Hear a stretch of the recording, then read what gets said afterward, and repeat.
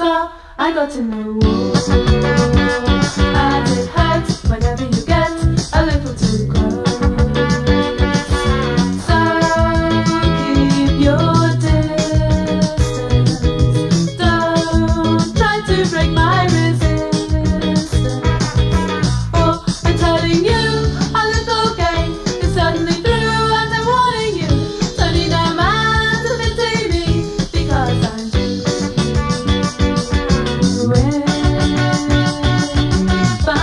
I hear someone who will go away.